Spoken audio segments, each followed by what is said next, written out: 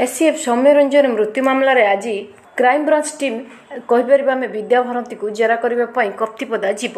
ସେଠାରେ crime branch team ଆମେ କହିପାରିବା କ୍ରାଇମବ୍ରାଞ୍ଚର ଏଡିଜି ଯିଏ ରହିଛନ୍ତି ସଞ୍ଜୀବ ପଣ୍ଡା ତାଙ୍କ ନେତୃତ୍ୱରେ ଦୁଇ ଜଣ ମହିଳାଙ୍କ ଦ୍ୱାରା ଜେରା ହେବେ ଆମେ କହିପାରିବା ବିଦ୍ୟାଭାରତୀ ତା ସହିତ ମଧ୍ୟ ଆମେ କହିପାରିବା ସୌମ୍ୟଙ୍କ ପରିବାରଙ୍କର ବୟାନ ରେକର୍ଡ କରିବ ଆଜି କ୍ରାଇମବ୍ରାଞ୍ଚ ଟିମ୍ କିନ୍ତୁ ସେପଟେ ଆମେ କହିପାରିବା ମନ୍ତ୍ରୀ ଯିଏ ରହିଛନ୍ତି ଜଙ୍ଗଲ ମନ୍ତ୍ରୀ ଯିଏ ରହିଛନ୍ତି ଆରୁଖ କହିବା ଆ, ଆରୁଖକୁ ଟାଣି ହେଇଥିବା ସୌମ୍ୟଙ୍କ କେସ୍ରେ ତାଙ୍କର କ'ଣ ଲିଙ୍କ ରହିଛି? ସେଥିପାଇଁ ଆଜି ବିଧାନସଭା ମୌସୁମୀ ଅଧିବେଶନ ରହିଛି। ତେଣୁ ଆଜି ଆଶା କରାଯାଉଛି ବିରୋଧୀମାନେ ହିଁ ପ୍ରଶ୍ନ ବାଣରେ ତାଙ୍କୁ ପୋତି ଦେଇପାରନ୍ତି ମନ୍ତ୍ରୀଙ୍କୁ।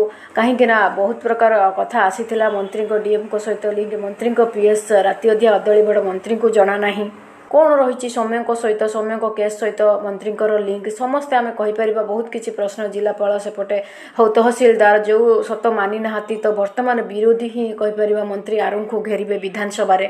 ତେଣୁ ଡିଏମ୍ଙ୍କ ସହିତ ତାଙ୍କର କ'ଣ ଲିଙ୍କ କାହିଁକି ଡିଏମ୍କୁ ବଞ୍ଚାଇବାକୁ ଚାହୁଁଛନ୍ତି କ'ଣ ରହିଛି ଟୋଟାଲି ଆ ଉପରେ କିଏ ରହିଛି ନିଶ୍ଚିତ ଭାବରେ ମନ୍ତ୍ରୀ କ'ଣ ମୁହଁ ଖୋଲିବେ ବିରୋଧୀମାନେ ଯେତେବେଳେ ପଚାରିବେ ପ୍ରଶ୍ନ।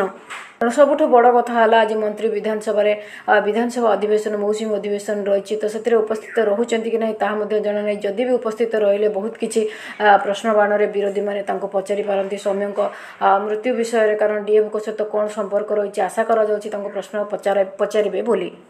ତେଣୁ ଏସବୁ ପ୍ରଶ୍ନରେ କ'ଣ ଉତ୍ତର ଦେବେ? ଯିଏ ମନ୍ତ୍ରୀ ଆରୁଖ ରହିଛନ୍ତି ତ ବିରୋଧୀକୁ କ'ଣ ଆନ୍ସର ଦେବେ? ତାହା ହିଁ ଜଣାପଡ଼ିବ ବିଧାନସଭା ଅଧିବେଶନ ପରେ।